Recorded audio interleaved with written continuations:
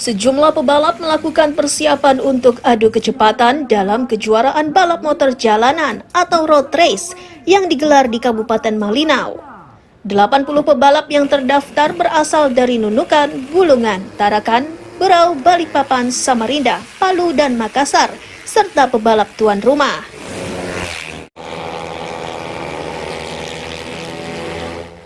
Panitia menyebut lomba yang baru pertama digelar Malinau ini dibagi menjadi 15 kelas. Sementara lintasannya adalah lintasan buatan dengan panjang 1.200 meter. Tingginya minat peserta menyebabkan lomba ini digelar hingga dua hari.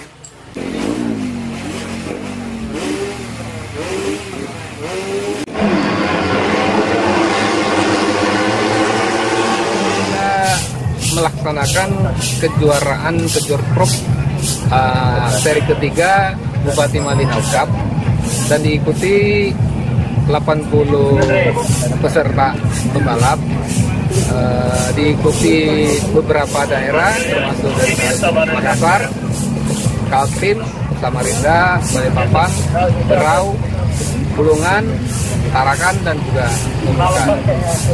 Serta pesertanya 80 orang dan ada beberapa uh, kelas yang dipertandingkan ada 15 kelas termasuk BP dan juga metik.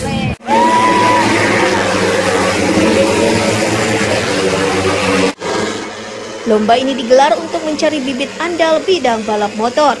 Bahkan pemerintah setempat tengah menyusun rencana membangun sirkuit permanen di kilometer 8 Tanjung Lapang.